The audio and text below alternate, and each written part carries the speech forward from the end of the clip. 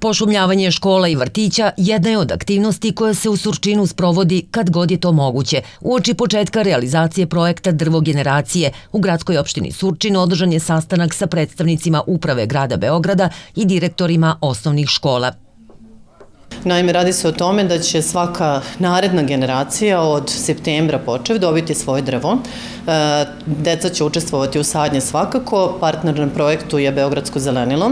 E, dakle, svaka škola će dostaviti e, koliko će biti potrebno zapravo ovaj, za svaku generaciju, da li će to biti tri ili četiri razreda, vidjet ćemo zavisno od škole i sprovešćemo već u toku marta prvu sadnju, gde će znači generacija koja je prošle godine upisana sa malim zakašnjenjem dobiti svoje drvo. E, deca će o tome svakako brinuti i to će ovaj, ostati nekim prethod, zapravo nekim ovim budućim generacijama.